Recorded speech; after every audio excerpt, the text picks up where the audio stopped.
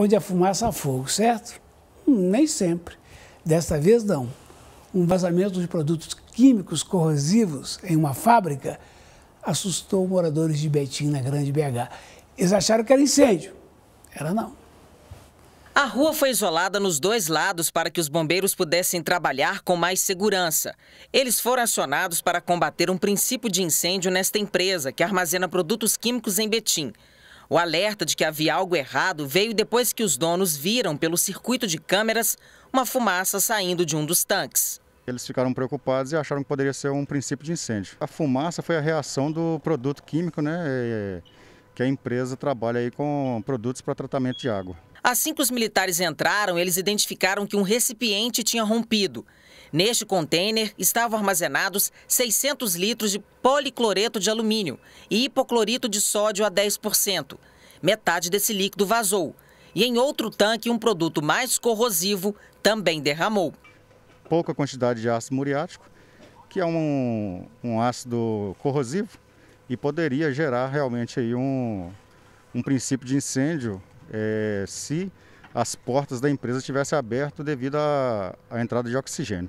Como a empresa estava fechada, isso aí foi evitado.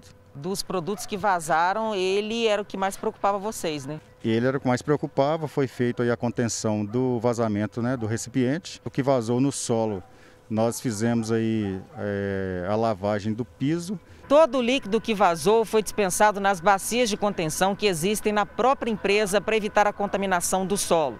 Agora, o Núcleo de Meio Ambiente vai fazer uma vistoria no local para tentar identificar o que provocou o vazamento. Não, não, é, não, é, não é possível né, é, falar com você com certeza o que, que foi a causa.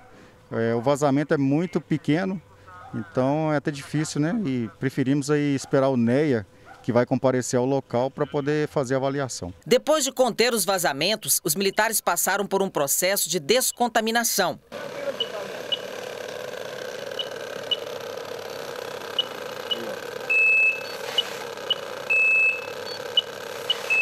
As roupas, calçados e instrumentos usados durante o trabalho foram limpos numa espécie de ilha montada em frente ao local. Da cabeça aos pés para evitar né, a contaminação aí dos próprios colegas, porque a gente retorna né, para o quartel e aí também acaba ficando dentro das viaturas, um ambiente mais fechado.